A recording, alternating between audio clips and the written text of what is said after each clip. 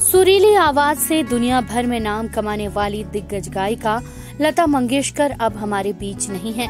बता दें कि लता जी ने तेरह साल की उम्र में अपना करियर शुरू किया और विभिन्न भारतीय भाषाओं में तीस हज़ार से ज़्यादा गाने गाए हैं। लता मंगेशकर के निधन के बाद उनकी बहन और दिग्गज गायिका आशा भोसले ने भी उन्हें याद किया है। आशा भोसले ने सोशल मीडिया पर बहन लता के साथ अपनी थ्रोबैक तस्वीर शेयर की है।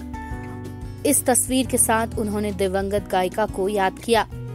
उन्होंने कैप्शन में लिखा, बचपन के दिन भी क्या दिन थे, दीदी और मैं। यह गाना आशा भोसले के मधुर गीतों में से एक है, जिसे उन्होंने बिमल रॉय की सबसे अधिक याद की जाने वाली फ़िल्मों में से एक, सुजाता में गीता दत्ता के साथ गाया था।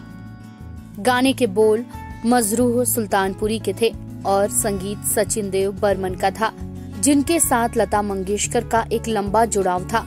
हालाँकि देवदास के बाद उनके बीच मतभेद हो गया था, लेकिन बाद में फिर से सहयोग करना शुरू किया।